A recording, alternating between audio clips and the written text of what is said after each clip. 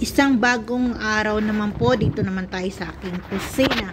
Ngayon po, mayroon uulitin ko po ang paggagawa ni atong nitong aking pakura squash dahil may nag-request po nitong lutong ito. So diyan, diyan po mayroon akong ginamit na isang medium size lang na squash at gina, ginayat ko na into strips. Mayroon din po akong ginamit na dalawang carrots na hindi naman kalakihan at ginayat ko na rin into strips. May gagamitin din akong 1 kilo na chicken na boil na po siya at pinag-chop ko into fine chop. Gagamit din po ako ng limang cloves ng aking bawang at uh, fine chop din po siya. At gagamit din ako ng onion na isang malaking onion at fine chop din po siya. Gagamitin po natin yung chicken broth kaya wag nyo pong itatapon pag nagpakulo po kayo ng inyong manok. So gagamit po tayo ng pang binder na um, ang tawag dito, uh, flour at saka um, itong maisa meal or cornstarch. May gagamitin din tayo na pangpalasa na isang cube chicken cube at ang ating salt and pepper. Ang gagamit din po ako dyan, sorry, nabubulol ako, gagamit din po ako dyan ng dalawang itlog. Since marami po itong aking nagawa, ang gagamitin ko po dyan na itlog ay isang malaki at isang maliit. So, lina po, start na po tayo. Pero dito po, ang aking itlog ay batihin muna natin. Ay, sorry. Itlog pala. Wala akong itlog. Uh, batihin muna natin. At kailangan po ay talagang fine beat po siya. So, andyan na po, mag-start na tayo. Halu-haluin lang po natin ang ating mga ingredients para mag-combine po silang lahat. So diyan ma kailangan pong mahalo muna para hindi ho mag um, maging marami ang isang side at marami yung isang side. So yan nilagay ko na po ang aking bawang. Ang pagkatapos po ilagay na rin natin ang ating onion. Ilagay halo-halo lang po natin nating mga ingredients. Pagsama-samahin lang po muna natin sila. Ilagay na rin natin ang ating chicken. Tapos, pagkalagay po natin ng ating chicken, i-mix po na natin talaga siya para eh, hindi po maging uh, hindi magkapantay-pantay po ang kanyang ano sa chicken. So, ayan po, i-mix ilagay na natin. So, i-mix na lang po natin. Nabubulol po ako, sorry talaga. So, ayan, kailangan po natin i-chop, ah, ah sorry, talaga, ano ba nangyayari? Oh, kailangan ihalo muna natin siya halong-halo na muna bago po natin ilagay ang ating ibang ingredients. Yung paghahalo po kasi niyan, hindi naman ano, kasi kaya natatagalan po tayo kasi gusto lang po natin na ma well uh, incorporate po silang lahat. So pag pag nahalong-halo na po natin siya at okay na yung ating uh, mga ingredients, ilalagay na po natin yung ating beaten egg. Para po kaya binibit natin muna siya para maganda pag nilagay po natin siya dyan sa ating uh, mixture. So kaya ngayon haluin na naman po natin. Pag nahalo na po natin ng ano lag, bawat po halo natin, maglalagay po tayo ng konting uh, chicken broth para po magkaroon ng konting uh, sabaw yung ating uh, ginagawa para pag naglagay po tayo ng flour at saka ng cornstarch ay dumikit po siya sa ating um, ating mga ingredients. So haluin lang po natin 'yan. Nagdadahan-dahan lang po tayo kasi hindi naman tayo nagmamadali. So, kailangan lang ma-well combine ng ating in- ingredients. So, dyan po, naglagay na ako ng aking um, nor cube na alali at dyan ay paborito kong gamitin. So, pagkatapos po nating maglagay ng ating ang uh, alali cube, maglalagay na rin tayo dyan ng ating salt and pepper kailangan lang po talaga na ating uh, pinuhin para hindi po siya malalaki pag na, nag, nakain. So, ayan po, kailangan well combined. So, kaya po pagkalagay natin ng ating salt and pepper, i-mix na naman po natin siya para maging well incorporate po talaga ang ating ginagawang mixture. So pag nalagyan na po natin at nahalong-halo na natin at, at nakita po natin na well combine na ang ating uh, mga ingredients, maglalagay na po tayo ng ng ating um, tawag dito ng ating flour at saka ang ating cornstarch. Sa paglalagay po ng ating cornstarch, hindi ko po yan eh, nilagay ng isahan kasi kailangan po na pag naghahalo ka po ng cornstarch at saka ng flour, kailangan po talaga dahan-dahan para makuha mo yung tamang-tamang consistency ng ating mixture. Kasi kung biglaan pong paglalagay mo, baka maparami mo yung, yung flour at saka yung cornstarch, baka mas ma, maano na po pag niluto yung marami na yung cornstarch. So, kaya po dyan dinadahan-dahan ko. Ngayon po, maglalagay na muna po ako ng tatlong kutsarang corn, uh, flour at saka dalawang kutsarang cornstarch. Kasi po yung gusto ko po talaga na ma-combine, well combined po yung ating ginagawa. So, yan dinadahan-dahan ko. Pag hinalo nyo po yan at nakita nyo po ang pagkakahalo nyo na medyo dry po siya, andyan naman po yung ating uh, chicken uh, broth na ating uh, nilaan para ating idagdag ng paunti-unti. Huwag po naman nating idadagdag ng marami kasi baka maging ma masobra na yung tubig natin.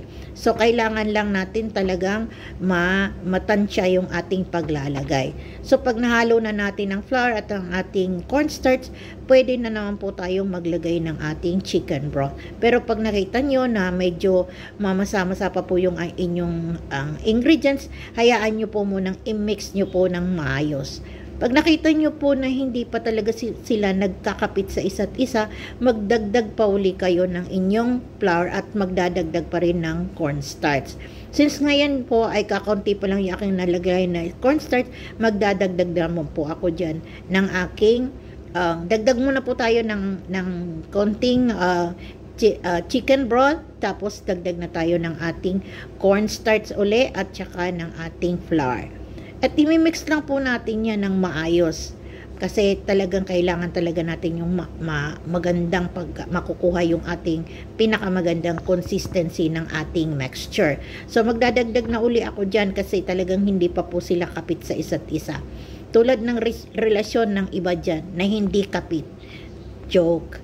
Oh, ngayon po lalagay natin uli ng dalawang um, tawag dito uh, cornstarch. Ah, sorry. Ayan, nagkabulol-bulol na tulol. Tuloy, maglalagay tayo ng dalawang um, cornstarch at tatlong flour. Tapos, i-mix na uli natin yan. Pag na-mix na uli natin yan at nakita natin na, na well combine naman po siya, pero medyo nakita natin na dry, magdadagdag lang po tayo ng ating chicken broth. Ganun lang po, paulit-ulit lang hanggang makuha nyo yung right consistency ng ating mixture or ng ating mga ingredients. So ako gusto ko po kasi na ma-well combine kaya pinapaulit-ulit ko at dinadahan-dahan ko.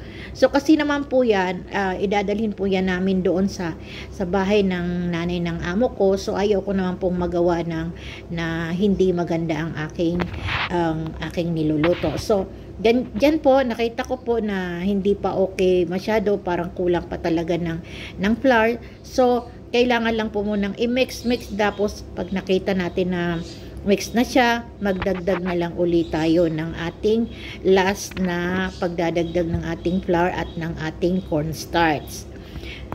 Since kasi po yung ano po ng ating ng ating cornstarch hindi ko po talaga yan pwedeng isahang lagay lang ng ating cornstarch baka kasi ko maparami ko yung ating flour at saka yung cornstarch. So dahan-dahan lang po. So ayan, mix lang ulit tayo, mix, mix, mix ulit tayo hanggang ma-well incorporate po ang ating mixture. So, pag nakita nating hindi pa po talaga sila magka, uh, hindi pa so, talaga sila ma, magdikit-dikit, I mean, nagkakalas-kalas pa po ang kanilang, ang texture, so kailangan pa po talaga magdagdag pa ulit tayo ng another 2 tablespoon ng ating flour at isang tablespoon ng ating cornstarch. So, after po dyan na nagdagdag tayo uli ng ang tawag dito, ng cornstarch at saka ng ating um, flour, dyan po pwede na natin siyang i- um, i-set aside kasi magpapainit na tayo uli ng ating kawali para ipiprito na po natin dyan. So, ngayon po, kailangan po i-mix po ulit natin yan at para ma-well combine talaga siya. Kasi talagang hindi pa sila nagdidikitan. Kumbaga, nagkakalas-kalas pa sila. Kailangan pa talaga ng konting flour at konting ang tawag dito, chicken broth. Pero pag na well combined na po yan, makikita nyo po talagang napakaganda po ng texture niya at napakaganda po at napaka-crispy po niyan pag niluto. So ayan po pag na, na, na ano po ihalo pa uli natin. Halo-halo lang po, halo-halo hanggang ma well combined po siya. So ayan po, pwede na po 'yan kasi kita nyo naman po nag ano na sila, nag-stick together na sila. So, ayan, pwede na po yan at isi-set aside na po natin ang ating mixture. Pero, kailangan po natin sa ating mixture, i-rest po muna natin yan ng kahit na 5 to 10 minutes lang. Para po yung ating mga tawag dito, yung ating pampalasa at yung ating flour ay talagang uh, magkaroon po sila ng mag ano tawag dito, magdikit-dikit talaga sila. Mean. Tapos pag na well combine na natin at na okay na talaga, tapos yan na po. So diyan nagpainit na po ako ng aking kawali habang hinihintay ko po ang aking ang tawag dito ng 5 minutes, 5 to 10 minutes. Tapos nagpainit na ako diyan. Ngayon, ayan po, mag-start na tayo na magpirito. Ang pagpipirito ko po, wag masyadong malakas ang apoy, yung tama-tama lang, yung banayad lang ang pagkakaprito para po ang ating ginawa ay hindi po masunog. Kailangan po yung katamtaman lang yung init niya. Pero wag na bang pong sobrang eh, mahina. Yung katamtaman lang para pag nagpiprito po kayo, hindi po siya magiging sunog pero luto po talaga siya. May iba po kasi pag napakalakas, so, luto na yung ibabaw, yung ilalim po ay hindi pa. So, kailangan, pag nagluto po tayo, kailangan talagang mabanayad lang ang ating apoy.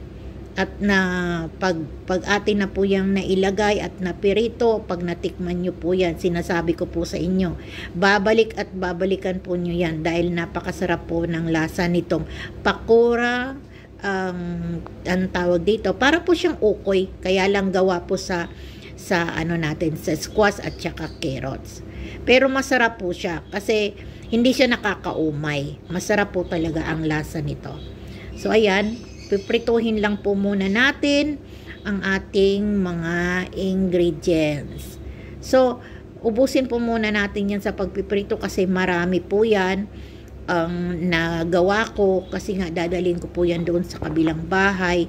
Yun po kasi may family day po sa aming anang pamilya ng amo ko. So, kailangan po namin magdala ng kahit na anong niluluto. So, dito po sa bahay namin, ako po ang nasusunod sa pagluluto.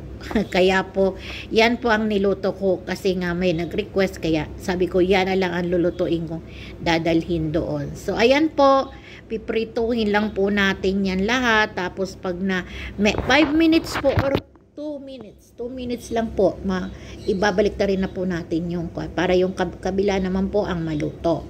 Tapos kailangan lang po natin siyang mag-brown brown ng ating ating uh, nilulutong pakura para po crispy po talaga siya. Pero kung gusto po talaga ninyo yung crispy crispy, pagkaluto niyo po ng mga 5 to 10 minutes lang yan, ahuin ninyo at ibalik nyo na lang po uli sa apoy pag after na rest nyo ng 5 minutes. Pero since kailangan ko po yung ganyan lang, hindi ko na kailangan ng crispy crispy, okay na po yan. So ayan, ang unang batch na luto na, may second batch na naman po tayong gagawin hanggang maubos po natin yung ating pinipiritong uh, pakura. So ayan po kasi marami nga yan kaya paulit-ulit lang hanggang sa matapos po natin ang ating ginagawa.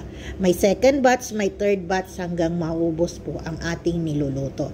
So ayan, nakakatakam na siya, 'di ba? Pasarap na po siya. Madali lang po siyang lutuin, kahit sino po pwedeng gumawa niyan ang pag pag mix lang po minsan ang ang medyo nakaka uh, tagal. Pero patient lang po dahil sulit naman pag nakaluto kayo ng isang ganyang klasing luto. Simple mura pero masarap. Magkakain na kayo. Pwede ng merienda at pwede pa po yung gawing pang ulam So, ayan lang po, ubusin lang po natin ang ating mixture hanggang matapos. At pag natapos na po yan, atin na pong titikman dahil napakasarap po yan. Hindi na po ako makapaghintay kasi masarap po talaga yung, yung mixture niya. May halo po tayo, di ba? Mayroon tayong chicken. So, mananam po talaga yan. So, ayan po, tapusin po muna natin lahat yung ating niluluto kasi napakarami po niyan. So, dalawang uh, pang second batch na po yan ng ating piniperito. So, ayan po. Hintayin lang po nating maubos lahat. So, yan na po.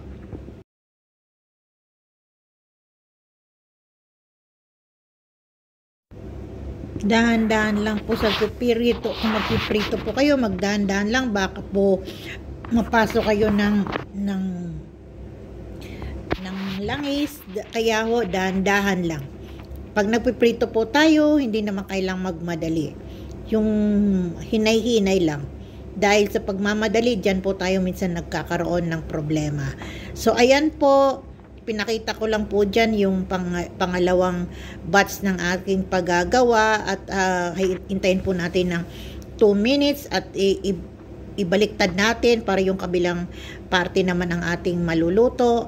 At after po maluluto yan, pwede na po natin yung i-plater. So, ayan. O, binaliktad ko na po. Pero kailangan po magkonting brown-brown ang ating niluluto. Huwag po nating hayaang puting-puti para pa, parang hindi po kasi luto pa ganon. So, hayaan po muna natin magkaroon ng kulay, mag-brown-brown ang ating pagkakapirito at haonin na po natin. At pag nahaon natin, ay pwedeng-pwede na po natin yan i-plater. At pagkatapos natin po yan ma-plater, pwede na po natin siyang tikman. So, sa mga, pwede po natin siyang gawing business. Dahil uh, usong-uso na po ngayon ang paggagawa ng mga online business sa mga niluluto niyan, pwede po kayong mag, maging, mag-business ng ganyang luto. Pwede kung magkano lang po. Dito po kasi hindi pa mo pwede kaming ganyan kaya niluluto lang para dito lang sa bahay. Pero sa Pilipinas pwede po nyo yan gawin. So ayan po nakita nyo. Ayan na na, na plater ko na. So napakaganda na po talaga ng nagawa ko. Ayan po. So napakarami di po ba? Kailangan lang po talaga patience sa pagluluto. At pagkatapos niyan, pwedeng pwede na po yan nating tikman dahil napakasarap po niyan. So, ayan po, titikman na natin. Kaya lang, ayan, tikman na po natin. Napakasarap po talaga yan. Ayan. So, ayan. Maraming maraming salamat po at nakipag um, ang tabay na naman po kayo sa aking paggawa ng aking pakura uh, squash. Maraming salamat ulo. Bye. God bless you po.